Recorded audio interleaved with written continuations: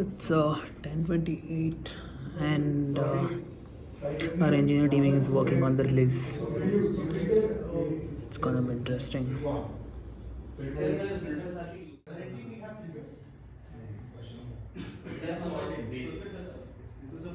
You saw our fun brainstorming sessions, and uh, you know what?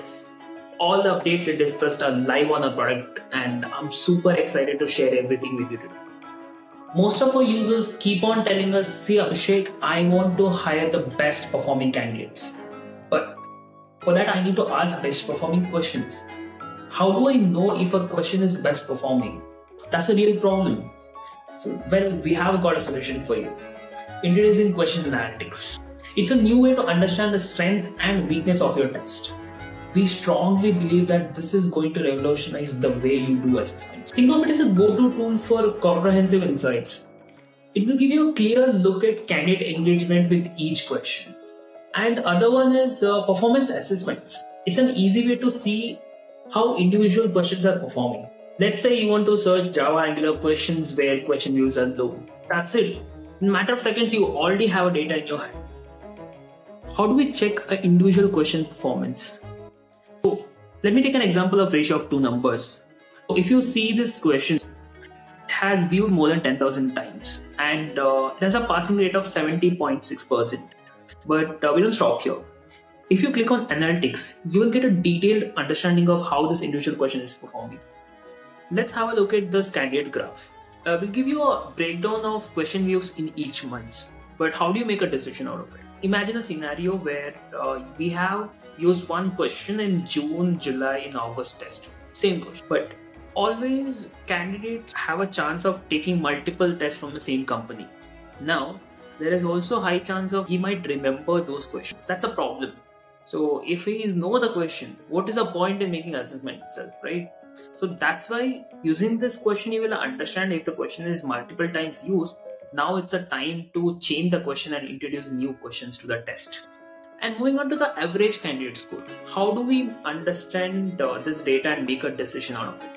If you see this, 29% of candidates score between 0 to 19%, and 71% of the candidates score between 80 to 100%. That means the passing percentage of this question is high.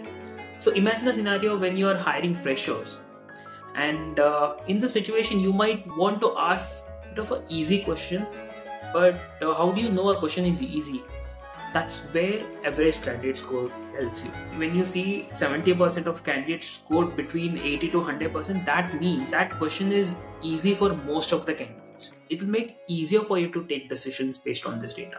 You know, picking the right question for the test is a real pain. That's why we have revamped our question library. Welcome to Question Library 2.0. It's all about making your life easier. With a new user friendly design, you can find questions aligned with the skills you're targeting, and it's quicker than ever. It's clean, simple, and it's here to help you generate those tests without any hassle. We have also added a couple of new skills under MCQ and subject question that is blockchain and generative AI, general IQ, quantum computing, system design, and professional communication. And we have added support for project-based questions for uh, C#, Spring Boot, Selenium, Salesforce, .NET, Flask, OpenAI, Java. Imagine you want to assess 5,000 plus candidates on data science, and uh, you send out invites. But you know what? Life is busy. How will you make sure that they will remember this test is happening tomorrow or day after tomorrow? So that's why we are introducing email reminders. These send reminders, you relax, and uh, they get resources and you get results. No more worries about the test ratio. And here is something for everyone. No matter if you're in an office model, hybrid model, or a remote model, or let's say you're having a cup of coffee in Starbucks, it doesn't matter. Using a web notification, you'll always be getting updates on what is happening in your test so that you're always connected with the test. Is it real time? Yes, check. Is it effortless monitoring? Yes, absolutely. Or is it seamless connectivity? Yes, 100%. We know managing candidates is not an easy task. So when you have multiple tools in your organization, that will be even more difficult. It's a nightmare. So that's why we have integrated with RippleHire and Lever. Now you can trigger test and interview in one place. We all need breaks, and WeCP team is no exception for that.